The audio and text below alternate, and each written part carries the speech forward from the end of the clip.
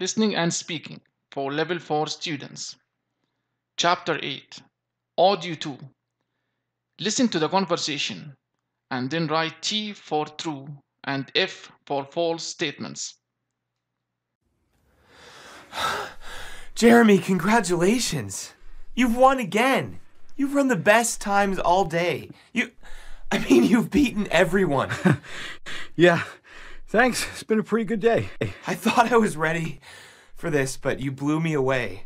How'd you improve so much? Are you working out more? More than I used to, but yeah, I've been uh, doing something different too. I've changed my approach to training. What do you mean? Well, I got a visualization coach, this guy who helps me with my training. A what coach? A visualization coach. He helps me with my workout. He's like a, a mind coach. He makes me think about and picture what I'm about to do, like run a race before it happens. I focus on seeing myself. Uh, I see myself running faster than I ever have before and leaving everyone else behind and finishing first. First. You're kidding me. Look, at first I was like, this is kind of nuts.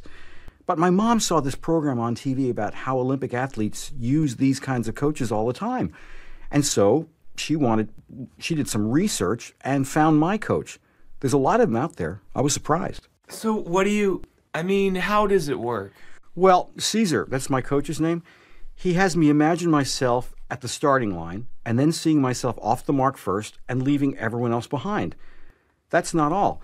I also, well, he tries to get me to see myself doing it too, as if I were a fan in the stands. What? Like you're in the bleachers? Yeah, exactly. And it works? Well, yeah, I mean, my times have been better than ever before. It sounds easy.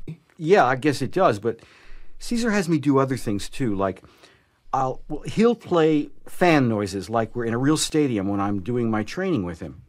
It's for well, it- because he wants me to get used to noise distractions and visualize myself winning in spite of them. One time he even sprayed me with water like it was raining, so I had to see myself winning in the rain. Hmm. Yeah, it is strange, but I'm happy with the results. That's for sure. I mean, I want to go to college, and that means I need money, so I'm hoping all this training will help get me a scholarship. So, has he taught you anything else? Yeah, he's taught me to do a little mental warm up at the starting line, too. Were you doing that today? I sure was, and personally, I believe it paid off. Yeah, it did. You know, it's also not uh, just for winning. He has me, uh, sometimes he asks me to think about what to do if I have a problem on the track, like how to handle it, like what to do if another runner goes down or if I get a bad start. Thinking about it before it happens is supposed to help me get over it. And I've been killing myself with workouts. I should have just meditated. yeah, but I gotta, you know, you gotta keep working out and training too. You can't just meditate in the dark room and go win races. Yeah, guess not. So, I still don't get why exactly it works.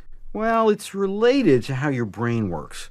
When I imagine myself doing these things, my brain kind of thinks I I really am. So it like the message from my brain warms up my muscles and kind of kind of paves the way for my legs and body to move. It makes it easier to move. Well, it sure is working for you. Yeah, it surprised me too. When I started, I, I really didn't know if it would work. And I was like, you know, Mom, save your money, but uh, it's really, uh, it's working. So, can you give me this uh, Caesar's number? no way, man. Get your own coach. 1. Jeremy has improved. This statement is true. Number 2. Jeremy is doing more exercises. This statement is false because it wasn't a matter of doing more exercises, but Jeremy changed his way of training. 3. Olympic athletes use visualizations coaches. This statement is true. Number four, a visualization coach helps a person imagine doing something well before he or she actually does it.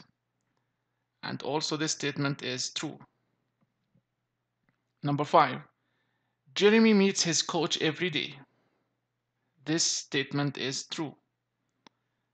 Number six, Caesar tells Jeremy to think about what to do if he has a problem while on the track.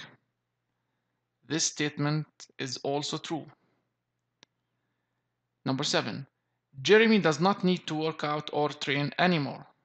This statement is false because actually Jeremy does need to work out or train.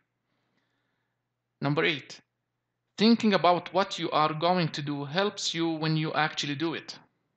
This statement is true. The last statement, Jeremy is going to give Rob his coach's number. This statement is false because Jeremy refused to give Rob his coach's number.